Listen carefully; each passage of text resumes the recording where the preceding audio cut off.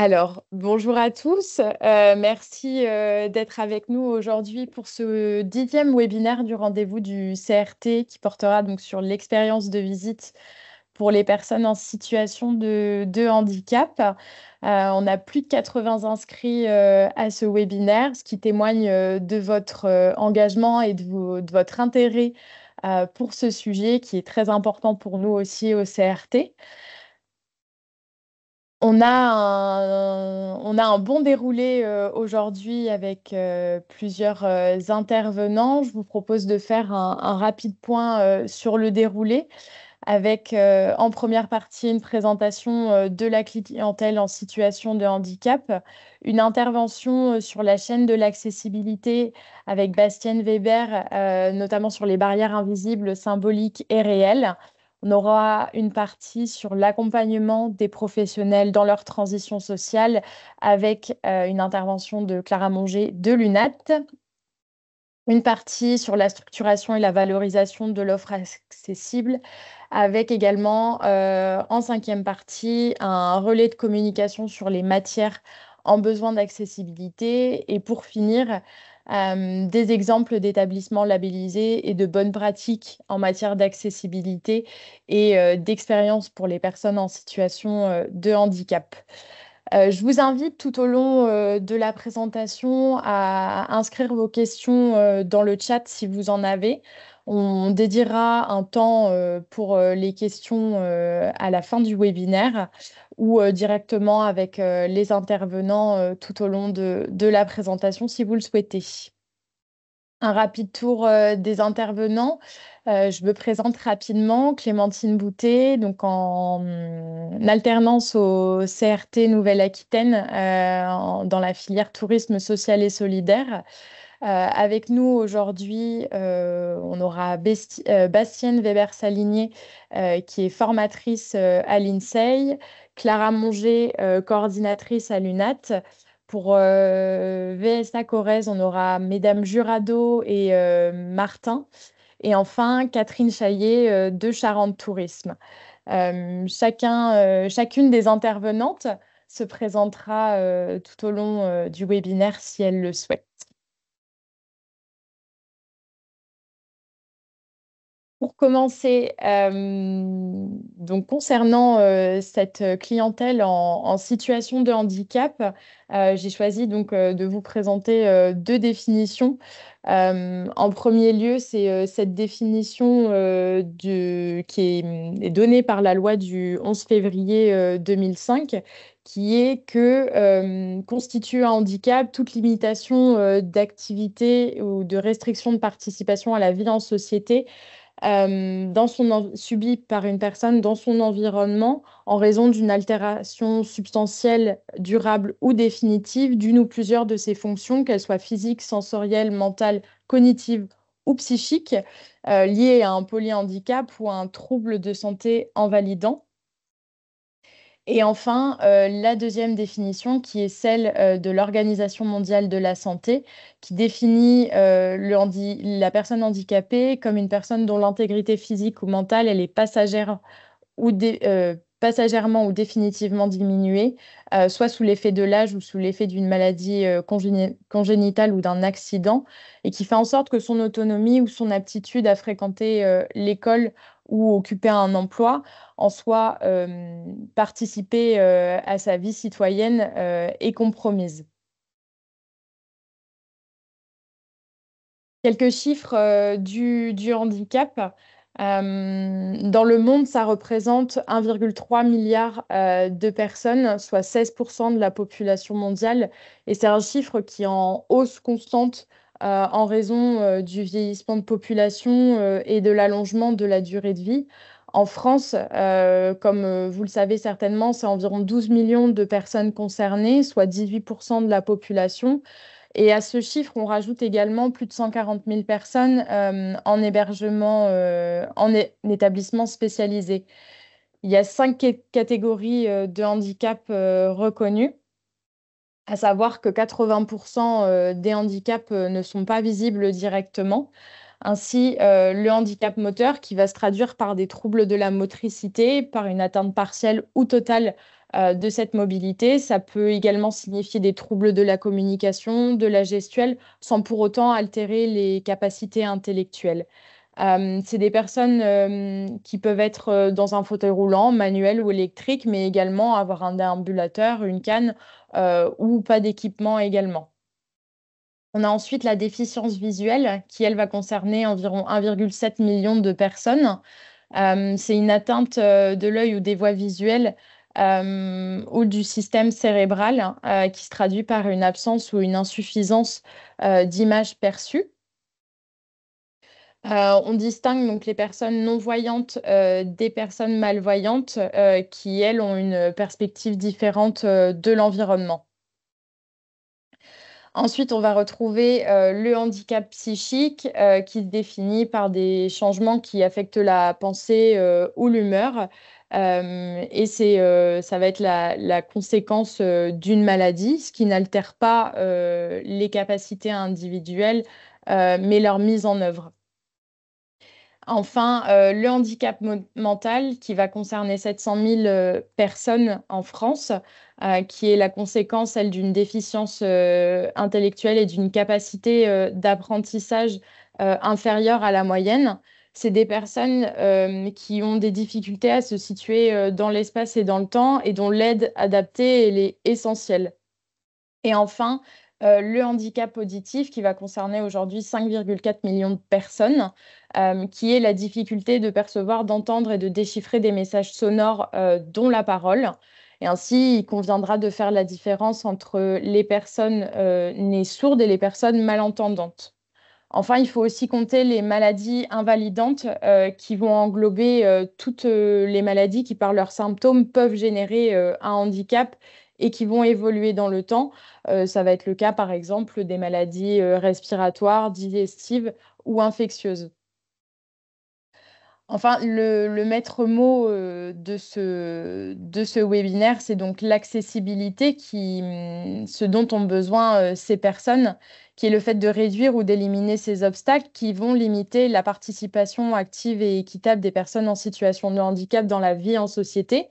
C'est une problématique qui va, qui va tous nous concerner en fait un jour euh, dans notre vie à savoir que 67% de ces personnes en situation de handicap, elles rencontrent souvent des difficultés dans leur déplacement, mais ça va également concerner les personnes valides, euh, environ 35%, euh, dont les Français qui se, dont les personnes qui se déplacent régulièrement avec des poussettes ou les femmes enceintes également. C'est c'est un domaine qui va concerner euh, tous les secteurs euh, de la vie, à savoir euh, l'urbanisme, les transports, les cultures, les loisirs, les pouvoirs publics. tous les secteurs sont donc concernés.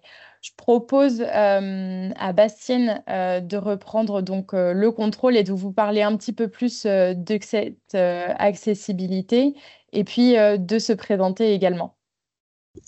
Merci. bonjour. Euh, je suis Bastienne euh, Weber. Euh, j'ai créé il y a 15 ans maintenant le Centre de ressources culturelles handicap en Occitanie. Puis, force de mes recherches dans ce cadre-là, je me suis inscrite en doctorat et je suis également formatrice à l'INSEE et à Erasme Toulouse.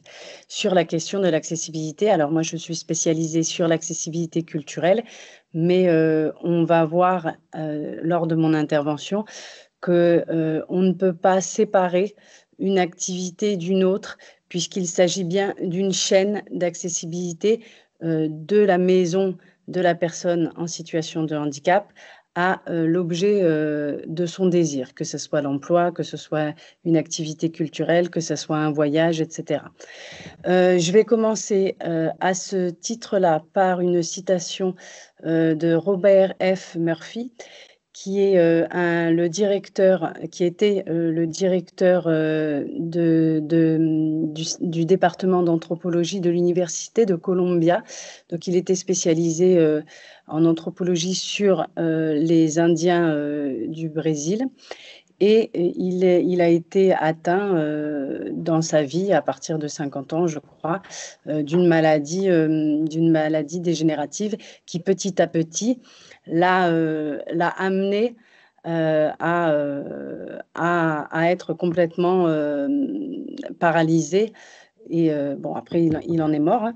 Mais du coup, il a, ce qui est intéressant pour, pour nous, c'est qu'il a étudié sa situation d'un œil anthropologique. Et du coup, il a écrit un livre qui s'appelle euh, Vivre à corps perdu.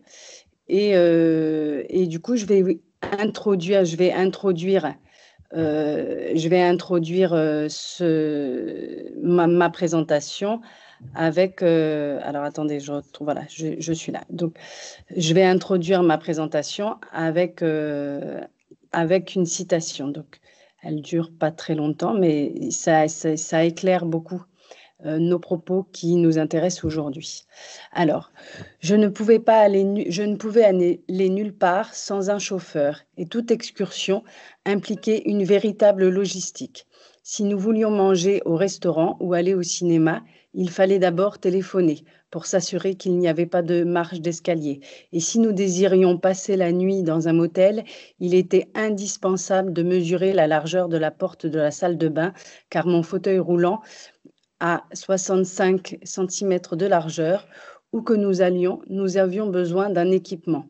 Outre le fauteuil roulant, il nous fallait transporter le déambulateur, un bassin, un urinal et divers accessoires. Au fur et à mesure que mon état s'empira, la liste s'allongea. Ils étaient loin les jours où nous nous abandonnions au désir soudain d'aller quelque part ou de faire quelque chose. Cette perte de spontanéité affectait toute mon, évaluation du temps. Elle conférait à mes perspectives immédiates une rigidité redoutable et introduisait une norme calculatrice dans une existence qui, jusque-là, avait été agréablement désordonnée.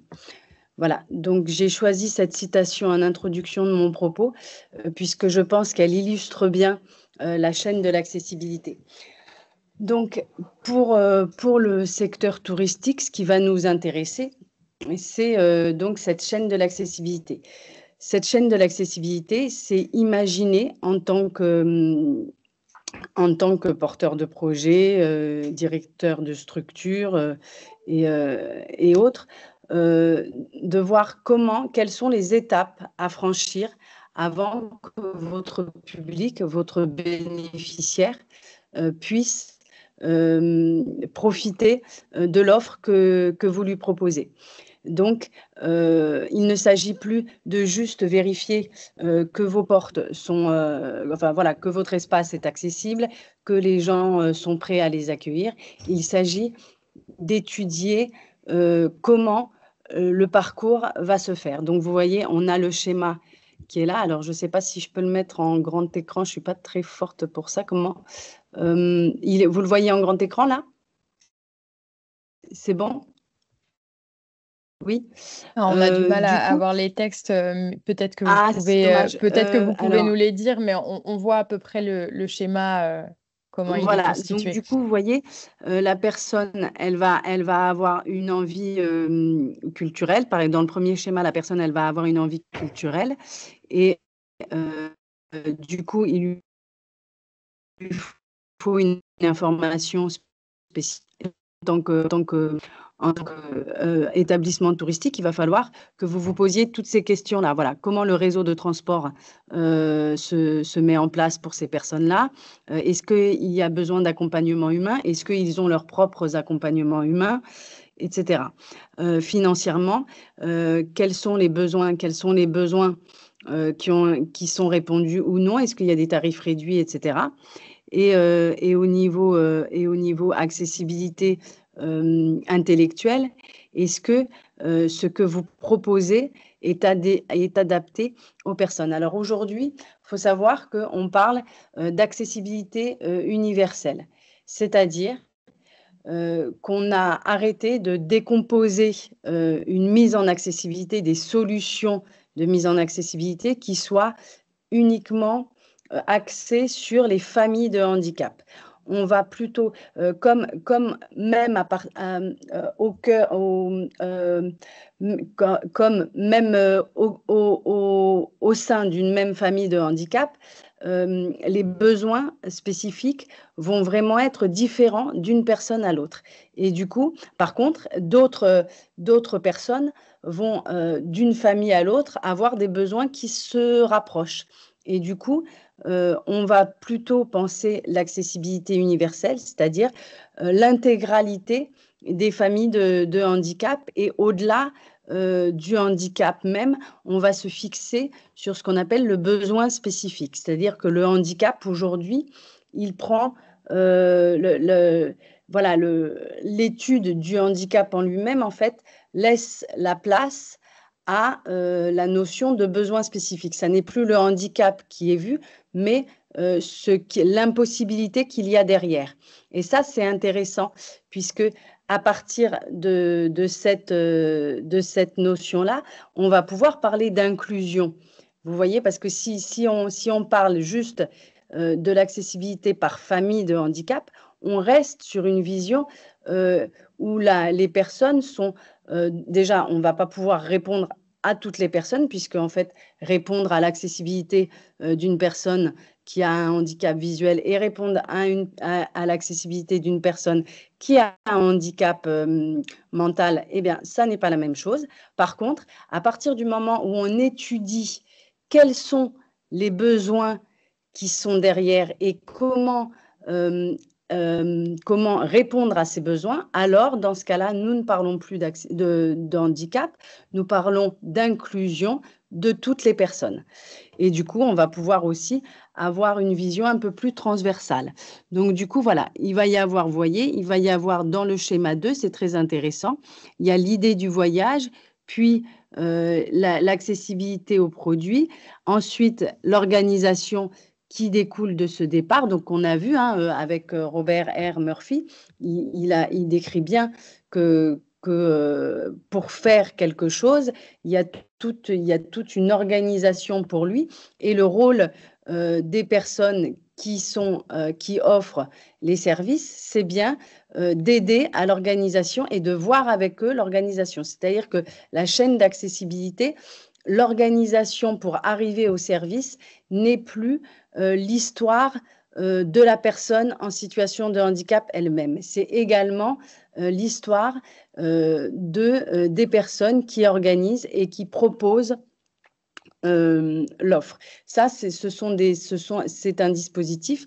Ce sont des choses qui sont marquées euh, dans la loi de 2005 et dans la loi euh, de, de, de, l'ONU de 2006. C'est-à-dire qu'il appartient, il appartient à celui qui propose l'offre de, de, fait, de mettre tout en œuvre pour que la chaîne de l'accessibilité soit, soit effective mais de la même manière que vous le faites en réalité, que, que, chacun d'entre nous le fait euh, pour les autres publics. C'est-à-dire que euh, quand on propose une, euh, un, une, offre culturelle, on va de toute façon vérifier que, que, que c'est bien accessible au niveau des transports. On va vérifier tout, tout, ce qui est, tout ce qui, est, qui environne l'offre culturelle, etc. Ensuite, donc, je vais, pour rester sur, euh, sur Robert R. Murphy, je ne je veux, pas, veux pas prendre trop de, de temps. Hein. On est d'accord que là, euh, c'est 20 minutes, hein c'est ça? Oui. Euh, donc, du coup, du coup il a étudié. donc, du coup, une fois qu'on sait qu'on on a, la, responsabilité d'avoir de, toute cette chaîne, il va falloir, pour répondre à, la, à, comment construire ce parcours de mise en accessibilité, il va falloir savoir en fait quelles sont les impossibilités pour accéder. Et pour accéder, il y a donc les impossibilités physiques, c'est-à-dire euh, est-ce qu'il y a des travaux, est-ce qu'il y a des transports, est-ce que physiquement, donc quand on dit physique, hein, vous voyez dans mon, dans mon slide, il y a marqué psychologique, sensoriel, physique et cognitif. Donc la question c'est est-ce que physiquement, euh, les personnes peuvent y accéder, mais euh, on va aussi parler de barrières symboliques. C'est-à-dire que là, Robert Murphy a été un des premiers à, parler de l'état de l'état de, psychologiques des personnes en situation de handicap et des barrières. donc là, on, parle bien de barrières symboliques. je suis arrivée à la conclusion que les quatre modifications de grande portée qui se produisent euh, dans la conscience des invalides sont les suivantes. Diminution de l'estime de soi, invasion et occupation de la pensée par des, euh, par des déficiences physiques, flux latent de, violence, de violente colère, acquisition d'une identité totalement nouvelle et indésirable. Donc là, vous voyez, il y a aussi ces barrières-là. Alors, euh, c'est juste, on va du coup, le, le bien-être et le soin, c'est là que c'est dans ce cadre-là que la notion de soin intervient, c'est que les personnes en situation de handicap sont parfois dans, euh, dans des impossibilités euh, psychologiques parce que voilà, elles sont fatiguées, elles ont, elles ont beaucoup de choses à gérer et le principe, c'est d'arriver à leur apporter euh, un, soin dans l'accessibilité. Donc c'est aussi pour ça que, vous voyez, quand on parle d'espace de, d'espace dédié, euh, de calme, etc., sur le, sur le handicap, euh, sur le handicap mental notamment, en réalité, la personne en situation de handicap, elle va avoir besoin d'espace de tranquillité et je dirais, quel que soit son handicap, puisque quelqu'un euh, qui est en situation de handicap physique et qui est hors fauteuil, il va avoir besoin d'espace pour se reposer, etc. Donc, vous voyez, euh, c'est tout, tout un, c'est toute une, je dirais, c'est un changement de paradigme à avoir, puisqu'on est vraiment, on va vraiment parler euh, de soins dans l'accessibilité, de travailler le bien-être. Et ce qui est intéressant pour nous, c'est qu'en travaillant le bien-être euh, de ces publics-là, euh, on va travailler le bien-être de l'intégralité des publics. Et, du coup, on est sur, euh, on est sur la, notion de care. donc, du coup, là, on parle de barrières symboliques. Il y a les barrières physiques, cognitives, éducatives et sociales. Voilà, dans la, dans la distinction de, de, Pierre Bourdieu, euh, Pierre Bourdieu fait une analyse sur le fait que euh, euh, les choix que l'on fait socialement en, tant que, en tant que personne ne correspondent pas seulement à nos goûts personnels, mais aussi à toute une éducation toute une éducation, toute une, une sociale et, qui, font qu'on va choisir d'aller vers tel ou tel espace. Et, euh, tout ça, en fait, les, les, les, euh, les, barrières vont se répondre les unes des autres. C'est-à-dire que euh, la barrière financière, elle va mettre la personne dans un état de, de, sensibilité au niveau social. Au niveau éducatif aussi, il faut savoir que les personnes en situation de handicap, alors aujourd'hui, avec l'école inclusive, il y a un fort euh, changement de ce point de vue-là, mais jusqu'à présent, les personnes en situation de handicap ont de toute façon un niveau d'études qui est inférieur à, aux, autres personnes. Et du coup, elles vont pas avoir euh, accès de la même manière à toute l'offre culturelle et touristique. Si vous voulez, si vous, c'est une simple étude des publics. Hein. Si vous étudiez euh, quels sont vos publics, eh ben vous verrez que euh, voilà, il va, il va, par exemple au musée, on, sait que euh, il y a un certain type de personnes d'une certaine éducation, etc., qui va venir plus facilement au musée ou au théâtre, etc. Et, évidemment, tout le travail, c'est bien d'aller chercher les autres publics. Eh bien là, ça va être pareil. les, personnes en situation de handicap font partie des publics qui euh, vont franchir moins facilement euh, qui vont franchir moins facilement euh, les portes des établissements culturels, qui vont, qui vont avoir moins accès à l'emploi, qui vont avoir moins accès à l'éducation. Et, et, en fait, tout ça sont, font partie d'un cercle vicieux qu'il faut arriver à briser. C'est-à-dire que le fait que euh, les personnes en situation de handicap soient accèdent à l'éducation, accèdent aux, établissements culturels, ça va permettre une meilleure estime de soi, une, meilleure, une meilleure inclusion dans la société et du coup, euh, ils vont venir après plus facilement sur les, sur les, offres, euh, sur les offres que vous proposez. Est-ce que, tout le monde suit ou, ça? Parce que du coup, je ne sais pas, est-ce que vous avez des questions par rapport à ça ou est-ce qu'il n'y a pas le temps C'est après euh, Voilà. C'est bon? Bah, alors, ce que je propose, c'est que si vous avez des questions, vous les posiez euh, dans le chat. Euh, on prendra un temps, comme je l'ai dit en tout début, pour y répondre. Bastienne, est-ce que vous avez fini votre présentation? J'arrive, j'arrive, j'arrive juste à la dernière slide. Du coup, cette, cette, toute cette chaîne d'accessibilité, elle est développée, elle a été développée euh, tout d'abord par la loi de 2005, euh, dont il a été question tout à l'heure. Donc, la loi de 2005, il faut savoir que c'est 101 articles organisés en 8 chapitres. Hein. Donc, du coup, en réalité, aujourd'hui, c'est de moins en moins le cas, mais euh, au début, la connaissance que l'on avait de, la, de cette loi, c'était bien l'accessibilité au bâti seulement. Et vous voyez là par le biais de cette slide qu'en réalité, l'accessibilité au bâti ne correspond qu'à un seul chapitre sur huit. Donc, on a la notion d'accueil. Hein, on va retrouver dans vos offres, vous allez, à travers les chapitres, pouvoir retrouver tout ce que vous avez à proposer pour la mise en accessibilité des personnes. Donc, on va avoir l'accueil des personnes, la prévention, l'accès aux soins, bon, ça, c'est quelque chose qui ne vous concerne pas. Quoique, voilà, euh, c'est important que, euh, la, question médicale sur les, sur les infrastructures, quand même, elle se pose. Euh, parfois. le droit à la compensation, voilà, donc ça, ça va, être, ça va être comment je vais compenser le handicap dans mon offre, les ressources, quels sont mes tarifs, hein, tout simplement, la scolarité, voilà, là, ça va être tout l'accès à l'éducation, etc., l'emploi, l'accessibilité au bâti, bon, ben, ça, c'est la partie a priori que vous connaissez le plus. Et la, participation citoyenne, euh, c'est ce qui va permettre aux citoyens en situation de handicap de se sentir au même titre euh, qu'une personne.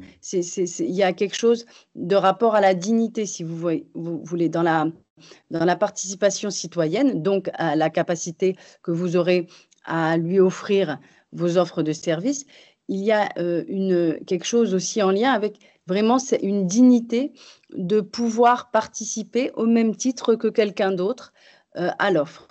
Et ensuite, euh, je terminerai par la loi de l'ONU de 2006, qui, elle, agit au niveau international, donc a été ratifiée par la France en 2007 et mise en application en 2010.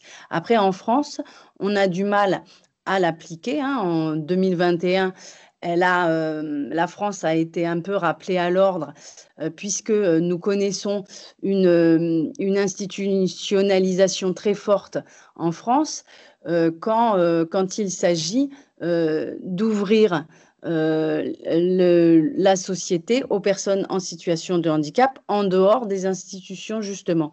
Euh, pourquoi j'ai appelé ça la loi de l'autodétermination? Parce que cette loi, elle pose vraiment, par rapport à 2005, elle pose vraiment la notion que la personne en situation de handicap, elle a, euh, elle a à apporter à la société. Elle apporte autant euh, que quelqu'un d'autre à la société. Et elle a le droit d'accéder à la société et à, et à développer son esprit créatif et toutes les compétences qu'elle a à offrir comme tout à chacun.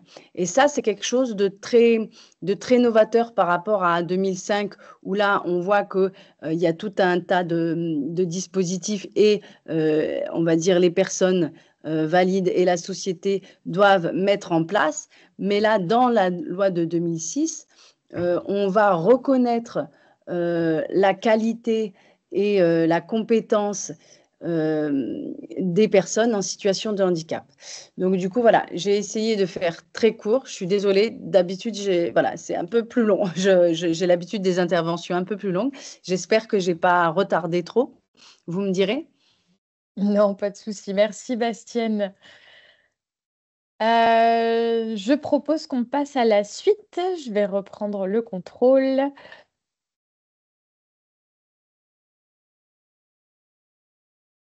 Comme je vous disais en, troisième partie, euh, l'accompagnement des professionnels dans leur transition sociale. On a la chance en Nouvelle-Aquitaine euh, d'avoir un réseau de tourisme social et solidaire euh, qui intervient dans cette problématique.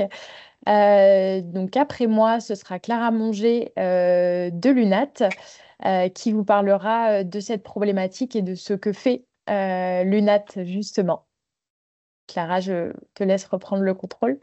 Oui, merci beaucoup Clémentine. Alors, du coup, ben, moi, c'est Claire Monger, je suis coordinatrice à l'UNAT Nouvelle-Aquitaine. Euh, L'UNAT, c'est euh, une, on est tête de réseau donc sur le tourisme social et solidaire, et c'est une association loi 1901 qui est reconnue d'utilité publique. Donc, euh, l'UNAT, c'est l'Union nationale des associations du tourisme et de plein air, et on représente et on défend les acteurs touristiques de l'économie sociale et solidaire pour rendre ben, tout simplement les vacances accessibles à tous. Donc, euh, on est une grosse association euh, au niveau national et chaque région en France, hors Outre-mer, bien évidemment, est représentée. donc, pour la Nouvelle-Aquitaine, nous, notre siège est sur Bordeaux. On est à Blanquefort, donc au nord de la métropole bordelaise. Et on travaille avec tous les acteurs touristiques qui euh, sont en Nouvelle-Aquitaine et qui sont euh, issus de l'économie sociale et solidaire. Une spécificité en Nouvelle-Aquitaine, quand même, c'est euh, la mission interfilière. L'UNAT Nouvelle-Aquitaine est depuis six ans maintenant maître d'ouvrage délégué à cette mission interfilière en tourisme durable qui rassemble les trois têtes de réseau, donc qui sont l'UNAT, donc pour la partie tourisme social et solidaire, la partie UMI, donc c'est tout ce qui est restaurant, bar, boîte de nuit, et la partie HPA, qui est toute la partie hôtellerie de plein air, de la région Nouvelle-Aquitaine toujours. Et à nous trois, on forme cette mission interfilière qui a pour but d'accompagner les professionnels euh, touristiques et les professionnels euh, en général, membres de ces filières, dans leur transition euh, environnementale et écologique à travers divers projets. Donc les projets qui sont phares pour nous sur cette année 2024, c'est la thématique de l'eau et des biodéchets. donc si vous êtes intéressé, moi je suis à votre écoute pour vous donner tous les éléments qui vous intéressent. et comment ça se traduit en région, le tourisme social et solidaire? Donc, membre de, l'UNAT, on a à peu près 163 hébergements touristiques. Donc, ça, passe par des gîtes, des refuges, euh, des campings, des villages de vacances, notamment euh, le village, euh, le réseau VVF fait partie de l'UNAT au national et en région. On a le réseau des auberges de jeunesse, donc qui est représenté par l'affuage, des centres internationaux de séjour également. Et on a aussi des centres de vacances et des centres sportifs. Et le réseau des centres sportifs le plus connu dans le milieu du tourisme, c'est les centres UCPA qui sont membres UNAT depuis euh, des années. Et euh, avec tout ça, on a un réseau euh, d'une trentaine d'organisateurs de séjours. Donc les organisateurs de séjours sont là pour organiser, par exemple, des colonies de vacances, des séjours touristiques, des séjours de vacances adaptés ou des séjours linguistiques. Et tous ces acteurs, ils développent des produits touristiques qui sont tournés vers tout type de public. Donc sur la thématique d'aujourd'hui, c'est les personnes porteuses d'un handicap ou non, euh, visible ou non. Euh, on a euh, la cible des enfants, des jeunes, des seniors, mais aussi des scolaires.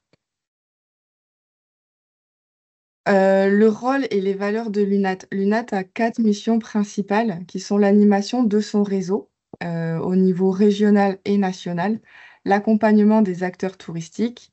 on essaie d'impulser et de participer à des projets fédérateurs et innovants et on a une grosse mission de représentation et de promotion de ce tourisme social et solidaire qui est encore quand même peu connu euh, du grand public. Donc c'est à nous de, le mettre en avant à travers euh, diverses représentations. Sur l'animation du réseau, euh, notre objectif principal, c'est de, d'amener nos membres, nos adhérents, à se rencontrer, à échanger sur des problématiques communes euh, afin d'essayer de tous ensemble, d'essayer de voir comment on peut les accompagner au mieux à leur trouver des solutions. Donc pour ça, on organise euh, annuellement des séminaires, des colloques, des journées thématiques, des webinaires sur une problématique en particulier où on fait intervenir euh, des professionnels, euh, des chercheurs, des philosophes, des, des grandes instances. sur l'accompagnement touristique, sur l'accompagnement de de ces acteurs touristiques, pardon, notre mission principale, c'est de les conseiller, de leur apporter des outils, de les informer, de les aider sur euh, un appui technique et opérationnel. Donc là, ça va être, ça va passer par euh, de l'aide tout simplement et du soutien, euh, faire le relais entre les membres que nous pouvons avoir en région et les grandes instances sur la thématique de l'accessibilité et des personnes porteuses de handicap. Nous, on accompagne nos structures euh, et on les met en relation avec les services euh, compétents des différents départements, ça peut être Charente Tourisme, Gironde Tourisme, etc., euh, pour qu'ils puissent déposer leur dossier en vue d'avoir la marque Tourisme et Handicap. Donc on les aide dans ce niveau-là, on les accompagne aussi notamment sur la partie rénovation et sur les dossiers de la création de dossiers de subvention auprès de la région Nouvelle-Aquitaine. Euh, qui demande beaucoup d'investissement, mais on a un rôle d'accompagnement qui est très très important. Euh, sur le développement et l'animation de coopération, donc sur des projets fédérateurs et innovants, on est à l'affût et en veille permanente sur tous les projets, les appels à manifestation d'intérêt qui peuvent euh, être intéressants sur notre secteur, intéresser nos partenaires, nos membres, euh, notamment depuis euh, l'après-Covid, on a un projet et un dispositif national qui est porté au niveau national, qui est l'été culturel. Le but de ce dispositif, c'est d'apporter la culture dans les lieux de vacances, donc des villages vacances, euh, des campings, des auberges de jeunesse. le but, c'est de rendre accessible la culture dans ces lieux de séjour pour permettre aux personnes qui en sont éloignées le reste de l'année euh, ben, qui puissent participer à des projets culturels sur un temps donné. Euh, ça peut aussi leur apporter un temps de répit euh, et de découvrir tout ce qui peut se faire. On a aussi des projets voilà, sur la partie tourisme durable, sur la partie rénovation. On essaie d'être à l'affût de tous ces projets-là et de les communiquer au mieux à, notre, à, notre, à nos professionnels. Pardon.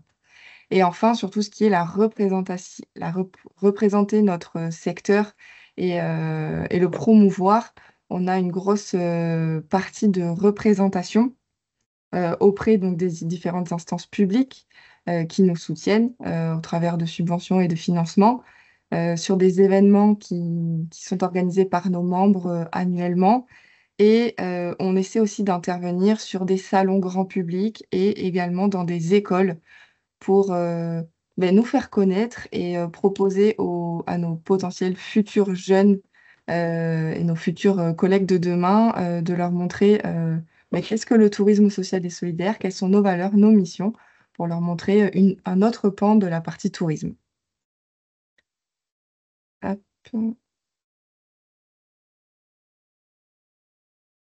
Et du coup, pour toute la partie vacances et loisirs adaptés, depuis plusieurs années, l'UNAT Nouvelle-Aquitaine euh, mais je sais que plusieurs de mes collègues dans les différentes régions ont un guide similaire. On a créé un guide qui s'appelle Vacances et loisirs adaptés en Nouvelle-Aquitaine. C'est un guide qui est édité tous les deux ans. Et c'est un guide qui constitue principalement une aide à la préparation des séjours et voyages spécifiquement conçus pour les personnes en situation de handicap, donc euh, porteuses d'un handicap euh, quel qu'il soit, qu'il soit visible ou non visible. C'est un guide qui est composé en quatre euh, parties. Donc, on a la partie hébergement, donc, euh, où on va retrouver les hébergements membres de l'UNAT Nouvelle-Aquitaine qui sont labellisés ou en cours de labellisation. On a des structures agréées, vacances adaptées, organisées. Donc, c'est nos organisateurs de séjour qui ont cette, euh, cet agrément qui est très important. Et on peut retrouver quelques associations qui proposent des activités adaptées sur une journée ou la demi-journée et euh, euh, il est hyper complet. Et on va également retrouver les informations pratiques afin de répondre toujours mieux euh, aux besoins du grand public ainsi qu'aux professionnels qui accompagnent ces personnes-là. Donc on va avoir les contacts par département des MDPH, des départements, des CAF, etc.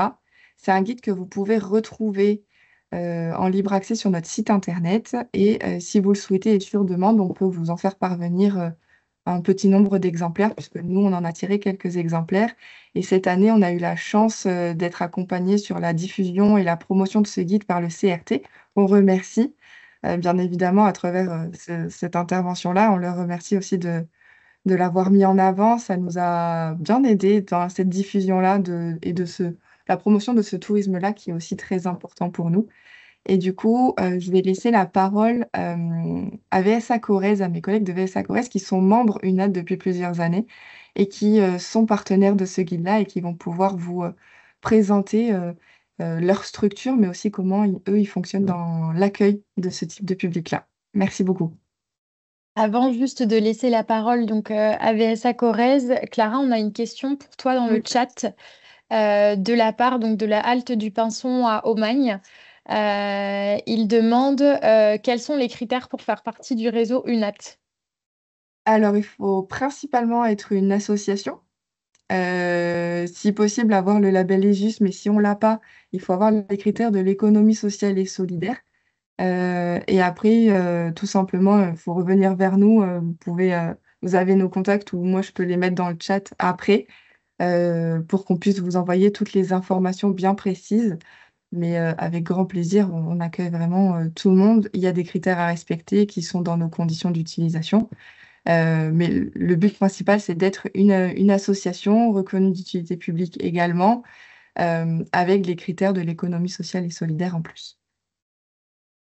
Merci Clara. Euh, juste pour vous repréciser à tout le monde, vous pourrez retrouver tous les contacts euh, donc de Clara et des différentes intervenantes euh, qui interviendront lors de ce webinaire sur notre site internet directement sur, la page du webinaire.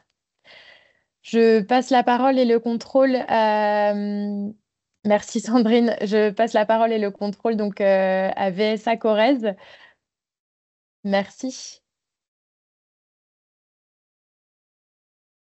Bonjour à tous. Nous, on va donc vous présenter le VSA Corrèze. Donc, c'est un village vacances à taille humaine qui a été créé en 2013 par l'AFEH, donc l'Association des familles d'enfants handicapés, du groupe La Poste et Orange.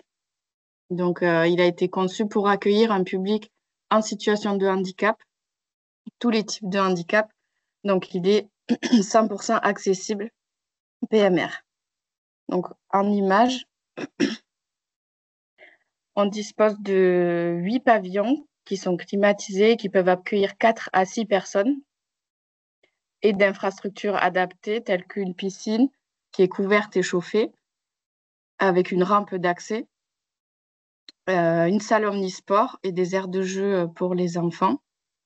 Euh, dans la piscine, on observe euh, une main courante tout autour du bassin pour euh, pouvoir se déplacer dans l'eau. Euh, le chemin d'accès qui traverse le village, il est également équipé d'une main courante avec une signalétique en braille. Euh, on propose aussi pour nos vacanciers la continuité des soins qui est possible en partenariat avec les professionnels libéraux du secteur. Et ce qu'on propose, ce sont des séjours de répit Donc, les séjours de répit, c'est avant tout des vacances en famille, dont l'un des membres est en situation de handicap ou en perte d'autonomie. Euh, donc, il s'agit de partager des, moments euh, entre les familles dans un cadre qui est reposant. Ça leur permet de sortir de leur quotidien. On organise aussi des moments de répit pour les aidants où euh, notre équipe d'animation prend en charge les aidés euh, sur des activités qui sont adaptées à chacun, pendant qu'en parallèle, les aidants, eux, profitent d'activités euh, relaxantes telles que des massages, du yoga, euh, des sorties culturelles, ou simplement profitent de la piscine ou se reposent. on propose donc des activités et des animations variées. C'est personnalisé puisque en amont des séjours, notre responsable animation contacte les familles et euh, prend en compte leurs besoins, leurs capacités et leurs envies. Et elle, euh, elle élabore ensuite euh, le programme d'activité de la semaine où ils seront présents. L'accueil, du coup, est personnalisé pour chacun de nos vacanciers.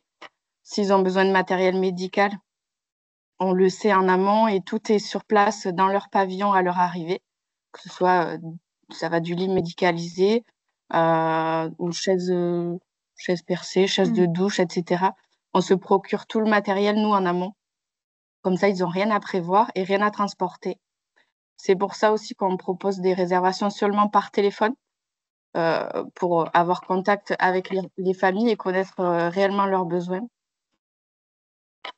Les séjours aidants aidés, euh, donc séjours de répit, c'est aussi l'occasion pour les familles de se rencontrer, d'échanger entre elles. On fait en sorte que chaque moment passé ensemble soit propice au partage. On organise des soirées, on partage des repas avec toutes les familles. Le reste du temps, les repas sont, la restauration se fait en portage de repas directement dans les pavillons. Et on organise des soirées où on partage des repas avec tous les vacanciers. Comme je disais, on est un village à taille humaine, donc on a huit pavillons. On peut se permettre de partager euh, un repas euh, tous ensemble avec euh, les équipes et les vacanciers. Tout est mis en œuvre pour créer du lien et une atmosphère familiale tout au long du séjour. On en organise huit euh, pour l'instant huit semaines euh, de séjours de répit par an. Le reste du temps, on propose des séjours traditionnels où on a aussi un programme euh, d'activités variées, mais la prise en charge des aidés n'est pas la même et les moments de répit sont moins fréquents. Au niveau des animations, tu veux prendre le relais ah, Effectivement, nous, ce qu'on voulait vous présenter, c'était notre village vacances euh, effectivement, là, on vous a montré un petit peu toute la partie adaptée, de montrer que des, villages aussi. Alors, euh, je, reviens juste, excusez-moi, sur la première slide. Euh, on voit que ça reste un village traditionnel en Corrèze, donc voilà, la Nouvelle-Aquitaine étant une très belle, une très belle région. On n'a pas la sensation aussi d'être dans un lieu médicalisé, et c'est de montrer aussi que même si on a si nous-mêmes on est en situation de handicap ou si un membre de notre famille est en situation de handicap, on peut aussi profiter de, vacances dans un lieu traditionnel. Moi, j'aime bien dire traditionnel. Euh, effectivement, donc nous, notre particularité, c'est depuis quelques années donc la, mise en place de ces séjours de répit. Euh, au-delà de proposer donc un, lieu totalement adapté, c'est aussi des moments euh, plus forts pour permettre, ne serait-ce que une heure, deux heures, ou même toute une matinée, ou même des fois toute une journée, bah, prendre le relais, soit faire des activités spécialement dédiées pour pour les parents ou pour l'enfant qui est, euh, qui est en situation de handicap. Donc, euh, nous, en interne, dans le village vacances, tout a été pensé. Alors, je dis tout, euh, on va dire que principalement, on peut accueillir tout type de handicap. C'est vrai que souvent, on pense aux personnes à mobilité réduite. Bien évidemment, tout a été pensé parce que les pavillons, donc effectivement, on en a huit, on en a trois petits qui peuvent accueillir jusqu'à quatre personnes, qui font à peu près 70 mètres carrés et ensuite les, les cinq euh, grands jusqu'à six personnes qui font 90 mètres carrés. Donc on est quand même sur des dimensions euh, assez conséquentes euh, pour, voilà, pour, le, pour la capacité. mais nous, c'est vrai que ce qu'on remarque, c'est aussi beaucoup de, de, de, de, handicap du type aussi autisme, euh, polyhandicap. Voilà, c'est pas simplement adapté aux, aux, personnes en fauteuil roulant ou malvoyantes avec effectivement ce, cette signalétique euh, en braille sous, sous la main courante. Nous, c'est un petit peu plus. Voilà, on a poussé l'adaptation euh, à son. Du moins, on a essayé au maximum. Euh, c'est aussi de montrer, nous, au niveau des animations, euh, souvent, ce qu'on peut nous reprocher euh, à tort, bien évidemment, c'est qu'on n'est pas au bord de la mer. Malgré tout, il y a énormément de choses à faire à moins de moins d'une heure quand même du, village. Euh, on a beaucoup d'activités adaptées que ce soit nous déjà en interne avec notre piscine, on a beaucoup de capacité. Et ensuite, on a à proximité donc du karting adapté, du paddle adapté. On a aussi beaucoup de, partenaires qui sont très euh, très engagés dans la cause du handicap et qui du coup bah, nous accueillent euh, volontiers. Je pense aussi à la grotte de Tourtoira qui est à proximité, où là effectivement on peut la visiter avec un fauteuil roulant. Rocamadour qui reste aussi un site adapté qu'on peut peut visiter. Voilà c'est aussi montrer que euh, on n'est pas obligé de rester dans le village et de rester entre nous. Euh, on peut aussi aller visiter la, région, euh, qui là aussi est, adaptée et, c'est quelque chose qui est, fabuleux pour, pour notre village. Donc voilà, nous, on voulait vraiment vous, parler aussi de, bah, du VSA Corrèze, qui est, je dirais pas unique en France, parce qu'on a vu quand même qu'il y a aussi des lieux qui le proposent, et j'ai vu dans le, dans le chat au niveau des, de la question, on a aussi des gîtes qui permettent des moments de répit.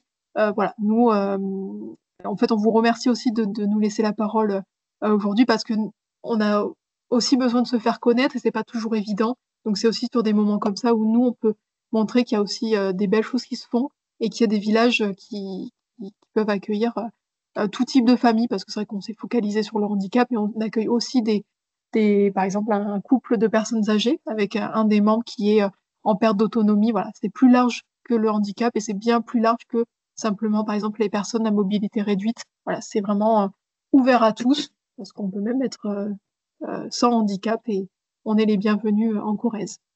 Donc voilà, je vous remercie de nous avoir laissé la, parole et la possibilité de nous, présenter. Euh, voilà du coup pour tout ce qu'on peut proposer au VSA. Si vous avez des questions, n'hésitez pas à les poser dans le chat. Je vais mettre notre adresse mail si vous avez besoin de plus d'informations. Et puis n'hésitez pas à suivre sur nos réseaux sociaux, notamment ce qu'on fait. On essaye de rester actif pour, euh, pour partager avec euh, nos vacanciers et les personnes qui ne nous connaissent pas encore euh, tout ce qui se passe dans le, dans le, dans le village vacances. Je vais laisser la parole à la, personne suivante et je vous remercie à, à tous de nous avoir écoutés attentivement. Merci. Alors, je ne sais pas si vous m'entendez. C'est très bien. Oui, merci beaucoup. Merci beaucoup, euh, donc Madame Jurado et, Madame Martin. Euh. Non, ça marche plus, Clémentine. Ouais. Ton micro a été désactivé. Vas-y. Pardon. Voilà, est-ce que vous m'entendez? Très bien, vas-y. Voilà, merci beaucoup. Donc, je disais euh, merci beaucoup, Madame Martin et Madame Jurado, pour cette présentation du VSA Corrèze. comme vous le disiez, c'est important euh, de valoriser euh, l'offre accessible euh, qui, existe aujourd'hui en France et en Nouvelle-Aquitaine particulièrement et sur des structures comme la vôtre. C'est d'ailleurs notamment le, le, sujet de la prochaine partie. on va accueillir donc Catherine Chaillet de Charente Tourisme qui va nous parler justement de ce label Tourisme et Handicap. Vous m'entendez? Bonjour à toutes et à tous. Bonjour Catherine, oui. Euh, merci beaucoup euh, d'abord au CRT et puis à Clémentine euh, de nous permettre d'intervenir notamment sur le label tourisme et handicap. donc moi, donc je suis Catherine Chaillet, comme vous pouvez le voir. Donc je suis responsable d'un service autour de l'inclusion, la diversité et la qualité de vie et conditions de travail. Donc je vais prendre euh, je vais vous passer les slides, voilà. Donc déjà, je voulais juste vous présenter notre structure en deux mots. Donc euh, Charente Tourisme, c'est euh, la, la, fusion de deux agences départementales du touristique de Charente et de Charente-Maritime. donc nous avons fusionné en 2017. Et nous avons également en 2020 fusionné avec un office de tourisme, l'office de tourisme des Vals de Saintonge. Donc nous sommes aujourd'hui euh, plus de 70 collaborateurs répartis sur trois sites, sur le site d'Angoulême où je suis actuellement, sur le site de La Rochelle et également sur le site de Saint-Jean d'Angély. Donc, euh, Charente Tourisme est impliqué dans le déploiement du, label Tourisme et Handicap depuis presque le, début, depuis 2003. Euh, nous travaillons avec deux évaluateurs donc, qui ont été formés par euh, l'association Tourisme et Handicap au niveau national et qui sillonnent le département de la Charente et de la Charente-Maritime puisque nous avons un territoire extrêmement grand et que l'idée c'était effectivement de ne pas faire faire beaucoup de kilomètres à nos évaluateurs puisque comme vous pouvez le voir, nous avons près de 500 sites qui sont labellisés euh, sur notre euh, destination. Euh, donc, un petit zoom sur tourisme et handicap, un petit, rappel pour ceux qui ne, le sauraient pas. Donc, tourisme et handicap, c'est un label d'État qui a été créé en 2001 donc, par Michel de Messine, qui était alors secrétaire d'État au tourisme, qui jusqu'à présent a été porté par la Direction générale des entreprises et puis par l'Association nationale tourisme et handicap. Et depuis le 1er mai 2024, euh, le label est maintenant porté par Atout France. Euh, avec, on l'espère, la possibilité d'avoir une plus grande visibilité sur ce label et avoir une plus grande notoriété, parce qu'on voit aujourd'hui qu'il y a encore un, gros déficit par rapport à la notoriété de ce label. Donc l'objectif de, ce label, c'est quoi? C'est bien de développer une offre touristique adaptée et ouverte à tous. Donc forcément, on, est, on est sur la même ligne euh, que nos, les précédents interlocuteurs. Hein. Donc l'idée, c'est de pouvoir euh, rendre accessible le maximum de sites euh, aux personnes en situation de handicap et quel que soit le handicap. Alors. Alors, petite carte d'identité euh, du label Tourisme Handicap avant de rentrer après dans des choses beaucoup plus concrètes. Euh, le label Tourisme Handicap, pourquoi et qu'est-ce que c'est? Bah, C'est déjà un gage de qualité, donc on est bien dans une démarche qualité, c'est-à-dire que si on choisit d'être euh, labellisé Tourisme Handicap, c'est pas pour faire, pour augmenter son taux d'occupation. Euh, si on fait ça, c'est vraiment parce qu'on a vraiment envie de proposer une offre à tout public, euh, adaptée à tout public, et non pas pour avoir euh, voilà, une, offre de un taux d'occupation qui va augmenter, puisqu'on le sait très bien, comme tout label qualité, on ne vient pas vers ces labels pour augmenter son taux d'occupation. C'est donc, comme je le disais tout à l'heure, un label qui est déposé donc par l'État, géré maintenant par Atout France. C'est une démarche volontaire. Donc, il y a effectivement la loi, on en a longuement parlé tout à l'heure, enfin plusieurs reprises. Et puis, il y a également les labels. Et les labels ne sont absolument pas obligatoires. Donc, on est vraiment dans une démarche volontaire. Euh, le label tourisme handicap, ben, c'est lourd. C'est 35 cahiers des charges, plus de 300 critères. C'est valable pour cinq ans et quand on se déplace sur une structure, on va visiter la structure en essayant de pouvoir répondre aux quatre grandes familles de handicap, même si on n'y arrive pas forcément. Euh, l'idée, c'est de pouvoir nous accompagner les prestataires touristiques pour qu'ils se rapprochent le plus possible de, des, critères la, de la marque, du label, pour pouvoir recevoir euh, toutes les personnes qui seraient atteintes d'un de ces handicaps. Euh, c'est pour ça que le label tourisme handicap, il est obtenu pour minimum deux déficiences. Euh, ben, on aimerait bien que tout le monde soit quatre, mais on sait très bien que c'est pas toujours possible, notamment sur des sites qui sont euh, des sites touristiques aussi, qui sont euh, des musées ou classés, et que ben, on fait pas toujours ce qu'on veut, on peut pas, on peut pas réaliser certains équipements, mais, mais il n'empêche que nous, on part sur le terrain avec notre grille pour essayer de, d'atteindre, on va dire, le graal de l'accueil des, des, personnes en situation de handicap sur les quatre déficiences. alors. Répartition des labellisés par catégorie d'activité. Alors ça, c'est très important parce que, euh, en fait, comme vous pouvez le voir sur cette slide, euh, il y a cinq grandes catégories de, prestations touristiques sur lesquelles nous pouvons nous intervenir. Ce sont les hébergements, les lieux d'information touristique, avec notamment tout ce qui est office de tourisme, les activités de loisirs. Donc derrière, euh, vous pouvez le voir, on met les parcs de loisirs, les théâtres, cinéma, piscines, plages, etc. Des sites de visite et les restaurants. En tout, il y a 4400 labellisés en France. Alors, c'est pas mal, mais on pourrait faire beaucoup mieux, notamment sur certaines régions. Donc, c'est ce qu'on va voir. C'est l'objet de la slide suivante, où là, vous avez la répartition des labellisés en France. Et nous, la problématique que nous avons aujourd'hui, c'est que nous avons beaucoup d'hébergements qui sont euh, labellisés, mais pas suffisamment de restaurants, de sites de visite d'activités de loisirs. Et tout à l'heure, on parlait effectivement d'avoir une, chaîne d'accessibilité. Et, nous, c'est bien euh, également euh, notre souhait, c'est-à-dire que c'est bien d'arriver dans un, hébergement qui est parfaitement adapté à son handicap, mais euh, pendant des vacances, on veut sortir, on veut aller au restaurant, on veut visiter, et que si les structures ne sont pas adaptées autour de l'hébergement, ben, la personne va rester euh, pendant huit jours dans son, dans son gîte parfaitement, euh, parfaitement adapté, mais c'est pas ça des vacances. C'est l'idée, c'est de pouvoir effectivement en sortir. Et nous, le travail que l'on veut faire à Charente Tourisme, c'est d'arriver justement à sensibiliser les acteurs pour qu'on puisse avoir, au-delà des hébergements, d'autres structures touristiques qui peuvent accueillir ce public.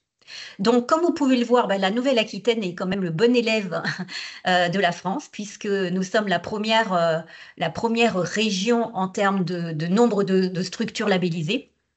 Donc ça, c'est quand même à, noter. Euh, on a 56% des structures qui sont labellisées sur les quatre déficiences. Donc, il y a encore aussi du, travail et de la sensibilisation à faire. Euh, et donc, euh, la Charente et la Charente-Maritime se trouvent sur le podium euh, des départements ayant une offre, adaptée la plus nombreuse, sachant qu'en deuxième, nous avons effectivement nos, collègues de, des Pyrénées-Atlantiques qui sont sur la deuxième marche du podium. Mais voilà, de manière générale, la région Nouvelle-Aquitaine est effectivement la quand même la, bonne élève, euh, la bonne élève en termes de, du nombre de sites labellisés en France. Euh, en Charente, petit zoom, donc euh, bah, j'ai un petit peu été un petit peu vite et j'ai devancé un peu cette slide. C'était voilà pour vous montrer un petit peu la répartition de l'offre sur notre destination, avec, comme vous pouvez le voir, 65% de l'offre qui se trouve dans, les critères, enfin dans, la filière hébergement. 13% euh, les offices de tourisme, euh, ça représente 13% de l'offre. On a la, plupart des offices de tourisme des Charentes sont labellisés. Euh, il doit en manquer peut-être un ou deux, mais bon, sincèrement, on, travaille très bien avec les offices de tourisme sur la labellisation tourisme handicap. On a 49 lieux de visite, 25 restaurants et 35 activités de loisirs. Donc, voilà, on peut, tout à fait mieux faire, même si au final, on est, on, est toujours autour des 500 labellisés. On ne va pas s'arrêter là et, l'idée, c'est de pouvoir effectivement diversifier l'offre que nous proposons. Alors, comment euh, concrètement, euh, comment ça se passe euh, Donc, pour une structure qui souhaite être labellisée euh, alors ça, c'est un témoignage qui, est propre effectivement à une organisation qui est propre aux Charentes. Donc après, d'autres collègues d'autres départements fonctionnent peut-être un petit peu différemment. Nous, en fait, la, première étape, c'est de le prestataire s'adresse à Charente Tourisme, sachant que je vous ai dit tout à l'heure que nous avons deux évaluateurs euh, Laurence Pouragio et Emmanuel Beck, qui sont euh, les, les, référents et les évaluateurs sur la destination. Je crois que Laurence nous écoute, donc euh, n'hésite pas, Laurence, si tu veux dire quelque chose, à, compléter mes propos. Euh, donc, le, prestataire donc euh, s'adresse à notre structure. il y a tout un échange au départ avec, avec l'évaluateur. Ensuite, il y a un audit sur site. Alors, on intervient à tous les niveaux, c'est-à-dire qu'on peut être appelé dès le projet, donc un porteur de projet. On peut être appelé par un architecte qui est en train effectivement de faire ses plans. on peut être appelé sur des structures qui sont déjà euh, construites. Euh, donc là, euh, c'est parfois quand c'est des nouveaux, c'est pas toujours évident parce que les conseils euh, quand on peut accompagner une structure depuis le début, c'est quand même mieux parce qu'on sait très bien que malheureusement, euh, c'est très codifié hein, euh, l'accompagnement handicap. Donc, il suffit de quelques centimètres oubliés ou un problème de, rotation dans la salle d'eau pour que malheureusement, ça ne puisse pas rentrer dans les critères du label. Donc, c'est vrai qu'on aime bien être appelé en amont du projet. donc, il y a une visite sur site, il y a une visite d'évaluation euh, qui est un binôme constitué d'un évaluateur et d'une personne qui fait partie d'une association euh, euh, handicap, sachant que nous travaillons avec l'APF, la, on travaille également avec l'association euh, Valentin Oui. Euh, on travaille euh, également avec une association de, de, sourds malentendants. Enfin voilà. Et souvent, on les sollicite pour des, on va dire, pour des structures un petit peu plus complexes et qui nécessitent de, pouvoir avoir des conseils de personnes qui sont eux-mêmes confrontées par le handicap. Euh, donc, euh, quand la visite est faite, que on a réalisé, euh, que le prestataire a réalisé les, les travaux, à ce moment-là, on peut passer le dossier donc sur le registre national. Il y avait auparavant, il y avait une commission nationale euh, qui pour, la pour les Charentes, on en avait 5-6 commissions par an. Euh, donc là, depuis que le dossier, euh, que le label est porté par Atout France, maintenant on dépose le dossier sur un registre national et, donc nos dossiers sont, sont vus, validés par l'association Tourisme Handicap et Atout France. et donc, c'est donc Atout France qui donne le label et non pas Charente Tourisme. Rappelons que c'est un, label d'État. Quel coût? Alors nous, effectivement, nous avons fait le choix de, faire payer, on va dire, pas le label, puisque le label n'est pas payant, mais bien l'accompagnement au label. C'est-à-dire qu'on a des déplacements, on a du temps de travail. Euh, souvent, ça peut être des accompagnements qui peuvent durer des semaines, voire des mois, voire des années. Euh, donc, on est régulièrement sollicité au fur et à mesure de l'avancée des travaux. Donc, c'est pour ça que nous avons mis euh, un, petit coût qui, comme vous pouvez le voir, est quand même pas énorme, puisque nous demandons pour une structure qui est non ERP, donc qui n'est pas un établissement ouvert au public, euh, comme les meublés chambres d'hôtes, 90 euros. Et puis pour 120 euh, euros pour un ERP, euh, sachant que lors de la, la, revisite, le renouvellement au bout de 5 ans, puisqu'on a dit que le label était valable 5 ans, nous ne faisons pas repayer cette somme, puisque nous considérons que tout le travail d'accompagnement a déjà été effectué et de que là, on est juste dans le contrôle. Donc, même s'il y a de nouveau des déplacements, on ne fait pas repayer euh, les structures. Alors, on va rentrer un petit peu plus dans le, dans le, concret parce que, en fait, euh, euh, ce qui est important, c'est, comme on le disait depuis le départ, c'est la diversité de nos, de notre, de nos structures. C'est-à-dire que euh, c'est pas forcément des structures auxquelles on penserait, mais on est quand même assez fiers de montrer qu'on a été capable de labelliser un catamaran euh, quand même pour les cas de déficience. Euh, une structure euh, multisport comme The Peak à, à ou bien le petit train touristique de Saint-Trojan, que, à mon avis, certains, certains connaissent, sur les quatre déficiences également. Nous avons 11 plages également qui sont, euh, qui sont labellisées en, Charente-Maritime. Nous avons également des grands noms, puisque nous avons notamment Courvoisier euh, à Jarnac. Donc, euh, n'oublions pas que les Charentes, c'est le cognac, et que du coup, nous avons une grosse offre œnotouristique qui doit être accessible au plus grand nombre également, avec les difficultés que nous rencontrons, notamment sur les caves. L'idée, c'est de pouvoir aussi sensibiliser les prestataires euh, no touristiques pour pouvoir euh, accueillir également cette, euh, cette clientèle-là. Donc ça vous montre un peu la diversité des, structures qui peuvent être labellisées.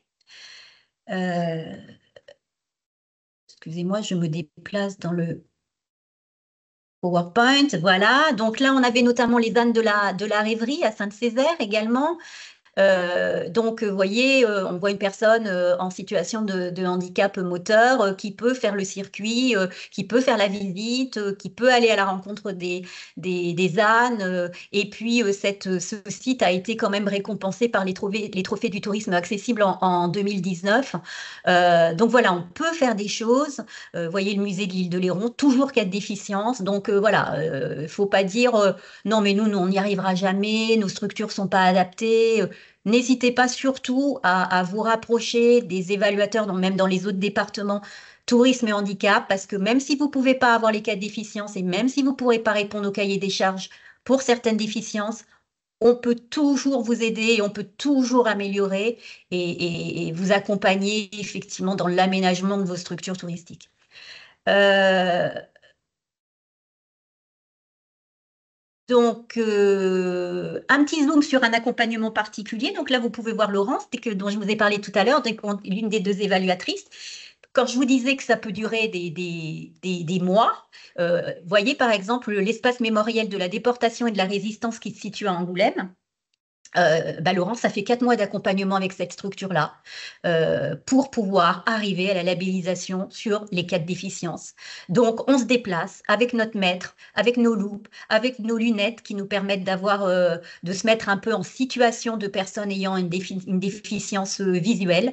voilà, on arrive avec tout ça et puis on s'adapte et, on vous encourage à, faire des, supports en grand caractère. Souvent, ce n'est pas forcément des, gros aménagements. Ne pensons pas qu'on est forcément labellisé, que s'il faut tout casser, que ça va vous coûter très cher. Oui, par moment, il est possible que si vous voulez recevoir des fauteuils, eh ben, il faut refaire sa salle de bain parce que parce qu'il n'y a pas l'espace, parce qu'il n'y a pas l'espace de rotation. Mais il y a aussi beaucoup de choses qui peuvent se faire avec peu de moyens et, on est là, effectivement, nous, pour, on va dire, euh, dédramatiser la démarche. Oui, il y a beaucoup de cahiers des charges, je vous l'ai dit au début. Oui, c'est lourd. Mais nous, on est là pour simplifier tout ça. Donc, pas de crainte. Et même si vous pensez ne pas être éligible, n'hésitez pas à nous contacter, on vous le dira. Euh, alors, c'est bien joli d'avoir des structures euh, labellisées, mais alors comment on communique? Alors, on communique certainement pas assez. On a encore beaucoup de choses à faire. Euh, donc, c'est ce que je vous disais au, début de mon, propos. le fait que le label soit déplacé, on va dire, de la DGE à Atout France, on attend quand même pas mal d'Atout France en termes de visibilité, notoriété. Nous, à notre niveau, ben, nous avons sur notre site grand public qui s'appelle donc www.infiniment-charente.com euh, nous avons euh, une rubrique qui est dédiée justement euh, à ces structures qui, sont labellisées, donc qui ont fait l'effort de, vouloir accueillir des personnes en situation de handicap. Donc vous trouvez également tout un tas d'autres supports, des guides audio, des vidéos en langue des signes, etc. Donc après, l'exhaustivité de l'offre de notre territoire qui est remontée par les offices de tourisme qui sont nos partenaires. Et puis également, nous faisons régulièrement des, posts LinkedIn, Facebook, Instagram euh, pour, pouvoir, euh, pour pouvoir parler de, de bah, notamment de mettre en valeur, par exemple, un site euh, qui, qui, a fait beaucoup d'efforts et qui, au bout de 3, 4 mois, voire plus, a réussi à atteindre, on va dire, nos 4 déficiences, notre Graal ou même notre 3 déficiences. Donc voilà, on essaye et ce qu'on fait surtout aussi, c'est qu'on est vraiment partenaire avec l'association Tourisme Handicap euh, pour pouvoir aussi euh, inciter nos, prestataires touristiques labellisés à participer à des événements nationaux qu'organise l'association Tourisme Handicap. Donc les trophées, on en a parlé tout à l'heure. Il y a un magazine aussi national qui existe. Euh, et, donc nous, on s'appuie également sur tous les supports qui peuvent être faits par l'association TH, qui fait un, un gros, gros travail. Euh, et puis pour terminer, euh, non, j'en ai encore une après. Euh, excusez-moi, je ne suis pas très douée avec les outils. pour terminer, donc, on, on, fait également un gros travail ces dernières années de sensibilisation auprès à la fois des filières touristiques, donc voyez, on a, là, on a mis quelques logos, mais on travaille avec la Fédération départementale de l'hôtellerie de plein air pour faire des interventions auprès de leurs adhérents. On travaille auprès de la route des trésors historiques euh, des Charentes pour également sensibiliser leurs adhérents. Euh, on fait beaucoup d'interventions dans les écoles, dans les universités. L'idée, c'est de pouvoir sensibiliser dès le plus jeune âge, on va dire, les étudiants et ces, tous ces étudiants qui, qui seront les, professionnels du tourisme de demain, les sensibiliser à l'accueil des personnes en situation de handicap euh, pour leur montrer, encore une fois, qu'il est possible de faire plein de choses pas forcément avec beaucoup de moyens, et que euh, n'oublions pas dans le cursus effectivement universitaire, scolaire, euh, de parler de cette clientèle qui est là, qui existe, et comme vous pouvez le, dire, euh, vous le disiez Clémentine au, début du, webinaire, euh, c'est pas rien. Euh, et que euh, il faut qu'on fasse tous bloc pour pouvoir augmenter cette offre et que on arrive vraiment dans une société beaucoup plus inclusive et accessible. Donc c'est pour ça qu'on insiste beaucoup pour aller dans les universités les écoles parce que tout se fait dès le plus jeune âge. Et juste, j'avais voulu insérer, insérer les petites vignettes parce que forcément pour intéresser un petit peu sur un sujet qui au départ n'est pas forcément, on va dire, très ludique quand même, euh, eh ben, on s'appuie sur des petites vignettes, voilà, sorte de petites bandes dessinées euh, qui parle, qui, qui, est extrêmement euh, euh, sympathique, coloré et qui permet notamment quand on fait des interventions, on s'appuie beaucoup sur ces vignettes pour montrer les équipements et pour montrer les, aménagements qu'il faut faire pour accueillir le plus grand nombre. Donc là, j'en ai mis quatre, hein, mais on en a beaucoup plus. Donc voilà, l'idée c'est de que bah, demain qu'on qu'on pense même plus à rendre accessible une, structure. L'idée, c'est qu'il faut que ce soit euh, un fait, un fait, euh, un fait quoi. C'est-à-dire que c'est plus, non, on va le rendre accessible. Non, dès le départ, il faut de toute façon, il faut penser accessibilité. Euh, voilà, donc j'en ai terminé. Surtout, vous n'hésitez pas à revenir vers Charente Tourisme, vers Laurence, vers Emmanuel. Si vous avez des questions, si vous avez une structure sur les Charentes que vous souhaiteriez éventuellement bah, soumettre, à l'adhésion tourisme handicap euh, à, nous, à nous contacter. Voilà, donc euh, merci beaucoup pour votre attention. Merci Catherine. Euh, donc comme le disait Sandrine, nous mettrons en ligne euh, tous les contacts des référents euh, tourisme handicap des départements néo-aquitains directement via la page de ce webinaire. Également, il y avait des questions dans le chat. Je pense que Catherine, tu pourras y répondre. Euh, alors, qui demandait euh, les tarifs sur euh, d'autres départements qui faisaient peut-être le même accompagnement. Je pense que ce qu'on pourrait repréciser, c'est que c'est une démarche volontaire donc de Charente Tourisme de, de poser un tarif bon, assez faible quand même sur cet accompagnement, mais qui n'est pas obligatoire justement pour tous les départements. Oui, je, je, précise, hein, comme je l'ai pu déjà le dire, ce n'est pas le label qui est payant, c'est bien l'accompagnement vers le label. Donc, effectivement, il y a plein de départements qui n'ont mis aucun tarif. Mais c'est vrai que moi, je n'ai pas une photographie, je ne suis pas en mesure de, de vous répondre. Mais voilà effectivement le choix qui a été fait. Et encore une fois, ça c'est vraiment au moment de la première labellisation, puisqu'au bout de cinq ans, puisque le label est valable cinq ans, au bout de cinq ans, quand on vient de nouveau dans vos structures et qu'on renouvelle le label, on ne fait pas payer puisqu'on considère que l'accompagnement a déjà été fait euh, avant. Voilà. Voilà, merci Catherine. Et on avait également une autre question. Euh, si, euh, si vous arriviez à mobiliser des associations ou collectivités locales, notamment dans l'accès des chemins de promenade à tous et pour leur repérage. Alors oui, euh, alors, peut-être pas assez.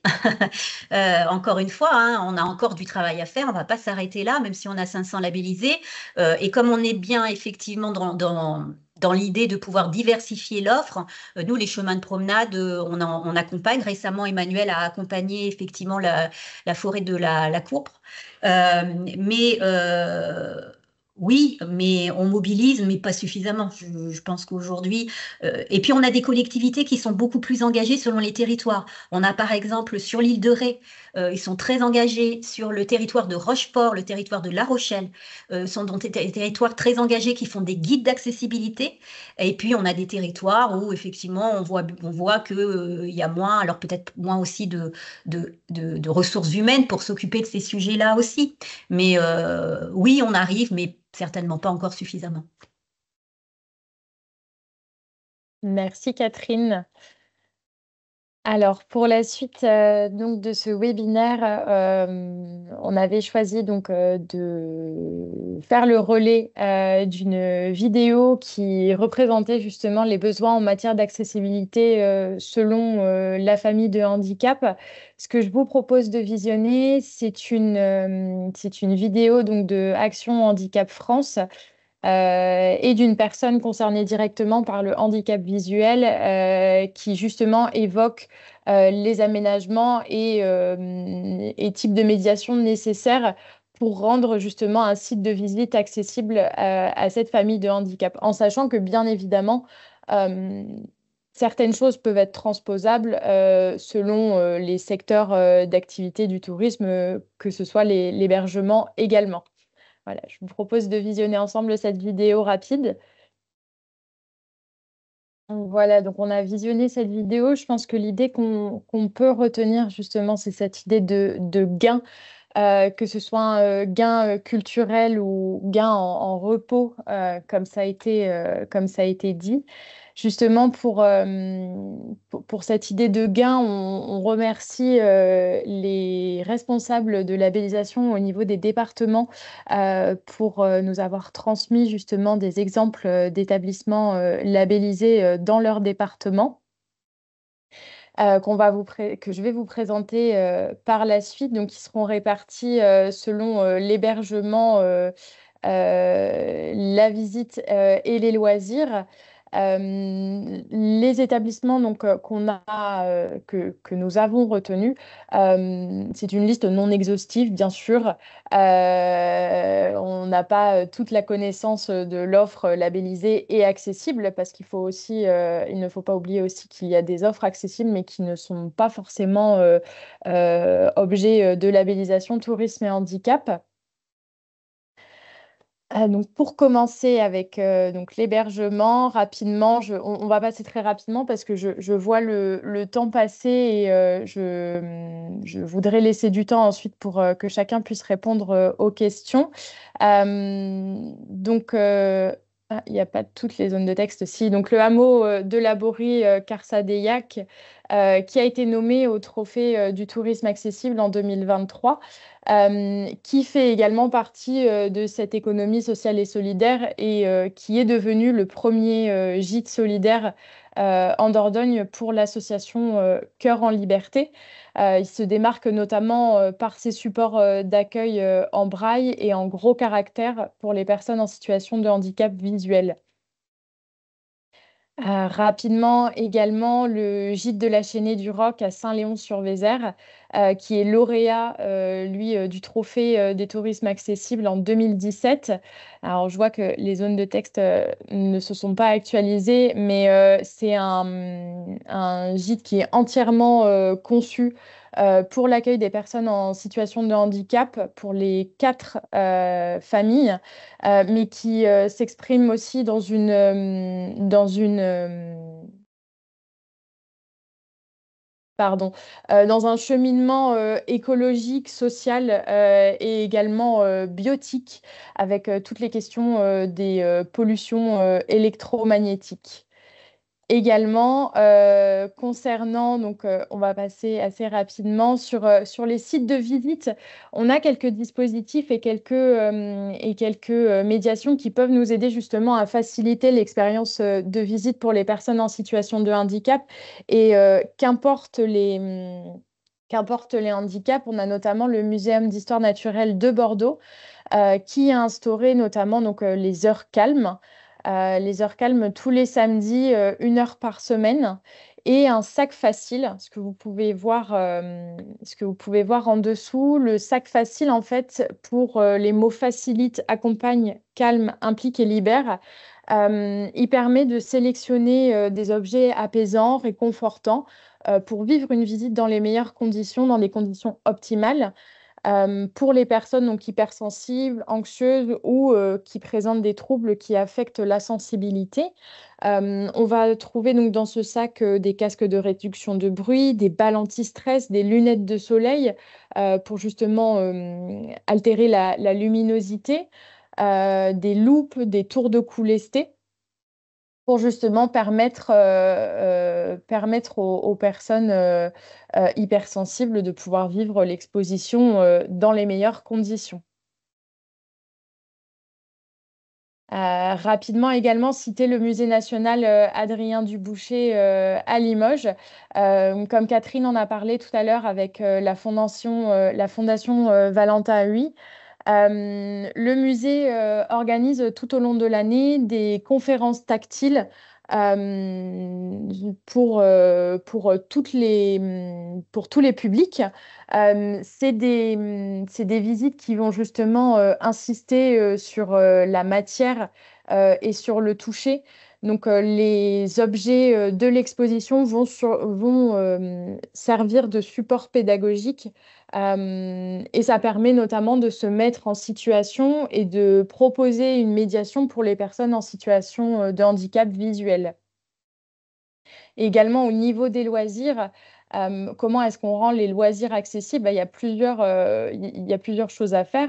En Nouvelle-Aquitaine, notamment, on a Tandem, la station vélo à Créon, qui est labellisée pour les quatre familles de handicap. C'est proposer euh, des, euh, vélos, des, euh, des, infrastructures adaptées pour permettre justement aux personnes en situation de handicap de profiter des infrastructures, des pistes cyclables, des sites de visite. comme le proposent également deux, deux, territoires en Nouvelle-Aquitaine, donc la Gironde et les Pyrénées-Atlantiques, avec les balades à roulettes qu'on retrouve un peu partout, que ce soit en montagne, en forêt ou sur la plage. C'est des balades courtes et accessibles qui permettent de faire des boucles, donc entre 500, et 4, entre 500 mètres pardon, et 4 km avec des parkings adaptés à proximité. ça représente donc des chemins larges sans dénivelé notable et qui possèdent un revêtement suffisamment roulant et sans trafic automobile à proximité. donc, ils sont accessibles pour toutes les familles de handicap, également pour les familles à poussettes, comme on le disait au tout début de ce webinaire. Et certains de ces parcours sont labellisés tourisme et handicap ou en cours de labellisation tourisme et handicap.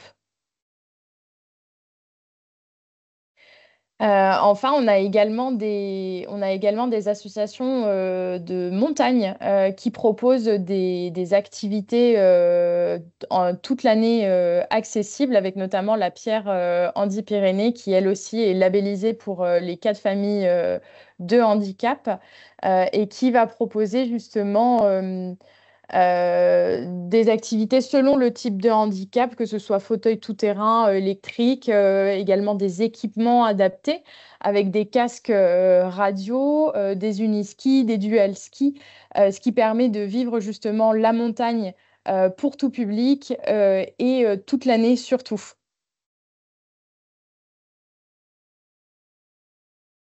Et enfin, donc, il y a des bonnes pratiques justement pour euh, permettre l'accessibilité euh, dans les différents lieux, euh, que ce soit les, lieux de culture ou, ou les hébergements notamment.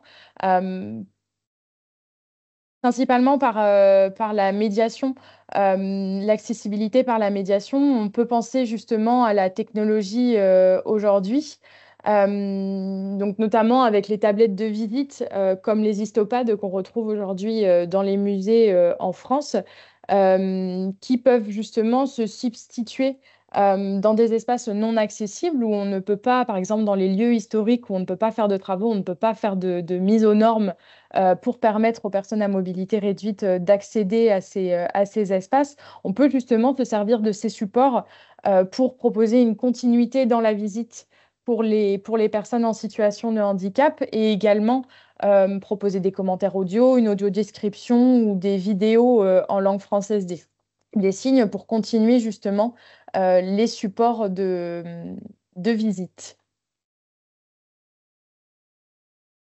Une autre bonne pratique, c'est de s'adapter au matériel euh, de, de, ces personnes. Euh, alors, on a déjà les boucles magnétiques pour les personnes euh, qui sont, qui, qui, sont malentendantes, mais on peut également s'adapter aujourd'hui, grâce à la technologie, aux différents matériels, notamment pour les personnes en situation de mobilité réduite, avec les fauteuils électriques. Euh, avec des joysticks notamment, on peut s'adapter. Euh, oui, on peut s'adapter euh, grâce à une clé USB notamment aujourd'hui et proposer justement cette visite virtuelle et proposer aux personnes de cheminer elles-mêmes dans, dans les espaces virtuels pour visiter sans tablette ces espaces. Euh, on peut également adapter euh, ce, principe avec euh, différentes plateformes de jeux vidéo notamment. Et enfin, une dernière, bonne pratique, mais encore une fois, c'est une, une liste qui est non exhaustive. J'imagine que vous aussi, vous faites preuve de plein de bonnes pratiques dans vos différentes structures. comme on l'a déjà vu avec le Muséum d'histoire naturelle de Bordeaux, c'est ces heures silencieuses qui aujourd'hui sont pratiquées, euh, enfin en 2023, qui étaient, qui étaient pratiquées dans 77% des magasins euh, en France. C'est le principe de proposer entre 2 et 4 heures silencieuses par, euh, par jour pour permettre justement aux personnes atteintes d'hypersensibilité, donc dotées d'une sensibilité accrue, de profiter d'un environnement avec des stimuli diminués, donc visuels, auditifs. Ça veut dire qu'on va couper le son des caisses, on va enlever la radio, on va diminuer la lumière. et on va permettre de se mettre dans les bonnes conditions calmes pour pouvoir profiter de faire ses courses tranquillement. également, alors là, je vois que la, slide ne s'est pas ajoutée, mais on a on a également la communication qui, peut, qui peut être améliorée. On a plusieurs plateformes hein, qui aujourd'hui qui permettent de, de renseigner sur l'accessibilité de son lieu. Je pense notamment à Accès Libre en Nouvelle-Aquitaine, on a, un certain nombre d'établissements de, référencés sur la plateforme. ça peut aller de la boulangerie au coiffeur. C'est vraiment tous les établissements. C'est référencer les différents types d'accessibilité, que ce soit accessibilité physique ou non, à votre établissement et de permettre de le recenser en un seul lieu, comme pour le label tourisme et handicap, donc de recenser en un seul lieu euh, toutes euh, les, démarches d'accessibilité ou les freins euh, qui peuvent être appliqués selon les familles de handicap pour tous les publics. Voilà, je, vois qu'il y avait d'autres questions donc dans le, le, chat. En effet, n'oublions pas le réseau Culture Relax et Ciné Relax dans toute la France qui propose justement des séances des, voilà, des séances ouvertes à tous. Je propose qu'on mette le, lien en effet de, culture et ciné relax dans, le, dans le chat et dans le prochain. dans le prochain. voilà, merci Sandrine. Voilà, merci. Si vous avez encore euh, des questions euh, pour euh, les intervenants, je vous invite à les, poser dans, le chat. Alors, je vois comment agir pour que les organismes de transport, notamment les bus et les trains, soient vraiment attentifs aux besoins des personnes en situation de handicap, notamment qu'elles ne les règlent pas dans les compartiments ou wagons à l'écart, qu'elles puissent voyager avec toute leur famille sans surcoût et qu'elles les traitent avec le respect qu'elles méritent comme tout un chacun. Merci. En effet, c'est une bonne question. Euh, oui, Sandrine. Oui, bonjour à tous. Je crois que Bastien, effectivement, a, répondu en, partie. C'est assez complexe le transport. Hein. Je crois qu'on en est tous euh, conscients. C'est aussi des, responsabilités parfois des communes pour les réseaux euh, de ville ou de la SNCF ou des transporteurs. Donc, euh, il y a déjà des, discussions et des choses qui sont déjà menées. C'est pas suffisant. On en est tous conscients. Mais voilà, en tout cas, nous, quand on est en échange à notre niveau, on, on le mentionne toujours. Mais voilà, c'est en progrès, mais pas encore satisfaisant. Et euh, il faut continuer euh, à, l'occasion de toujours euh, pouvoir l'évoquer, en tout cas avec les sociétés de transport ou les communes qui ont la compétence, en tout cas au niveau local. Bastien, je vous propose de prendre la parole. Oui, juste pour compléter, c'est effectivement, je suis tout à fait d'accord, c'est complexe et c'est tout l'intérêt de leur proposer des partenariats. C'est qu'à partir du moment où il y a un partenariat qui est, qui est engagé, il y a des discussions qui sont possibles, si vous voulez. Voilà, c'était ce que je voulais compléter de ce que j'avais dit, euh, voilà, de bien souligner la notion de partenariat euh, pour euh, l'accessibilité de vos, de vos infrastructures.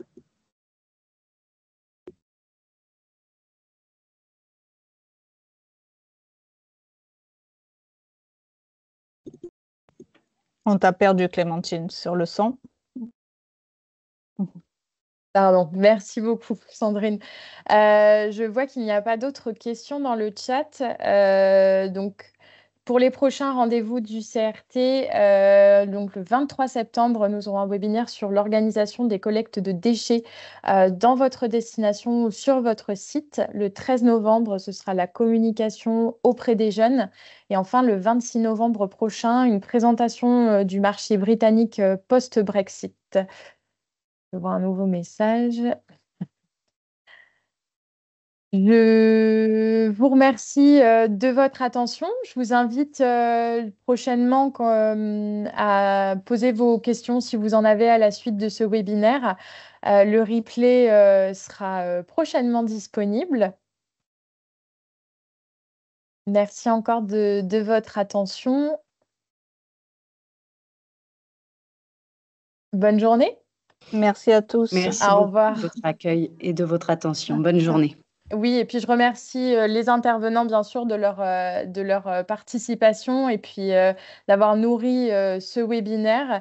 Également, une dernière fois, les, les différents responsables de labellisation tourisme et handicap sur les, les départements de Nouvelle-Aquitaine, d'avoir transmis les offres accessibles également. voilà, un grand merci à tous pour l'organisation de ce webinaire. Merci Clémentine. merci.